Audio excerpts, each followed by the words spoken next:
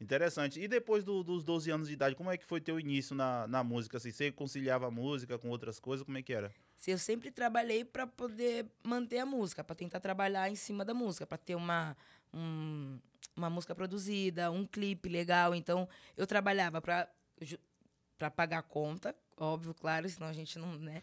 E, e guardava meu dinheirinho ali para tentar engrenar, fazer umas fotos, fazer uns vídeos, gravar uma música legal. E acabava que a sala juntava, juntava, juntava, acreditava e as pessoas me enganavam.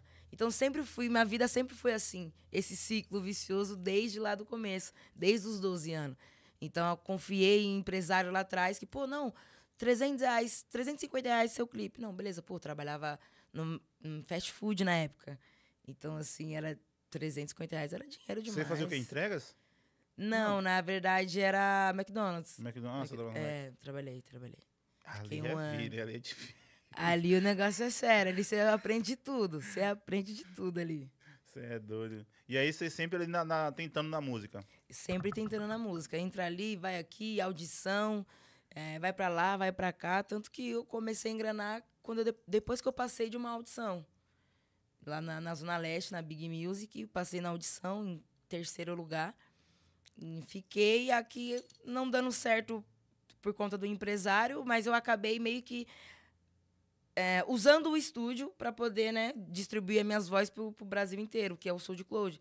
Então eu mesmo me gravava, porque eu tinha vergonha de gravar na frente dos outros. Eu cantava só consciente, depois fui cantar aquela ousadia toda, então tinha muita vergonha. Então eu mesma me gravava e eu mesma distribuía no SoundCloud e eu mesma mandava o carimbo pro DJ, tudo separadinho.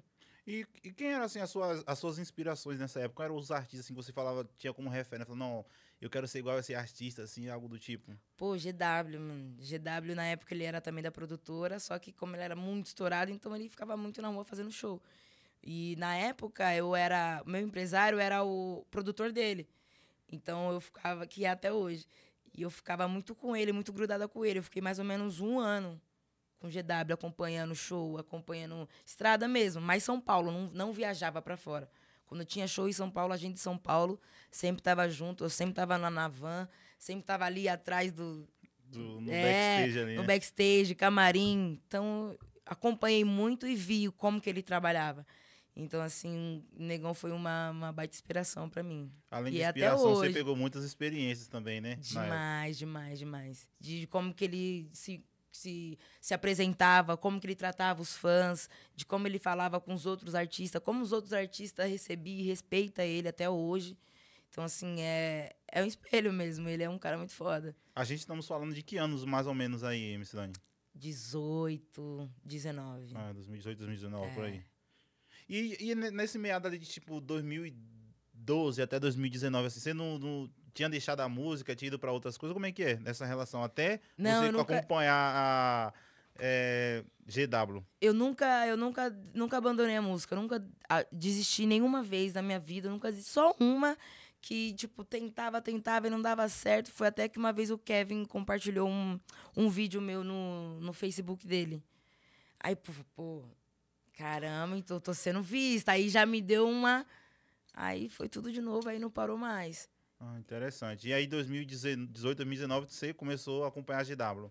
Não, na verdade eu já acompanhava Já GW há muito tempo, né? GW era, vixe, desde o Oi Pula, Oi vai de Pula, Pula, vixe, GW é bem antigo, assim, pra mim, eu sempre acompanhei.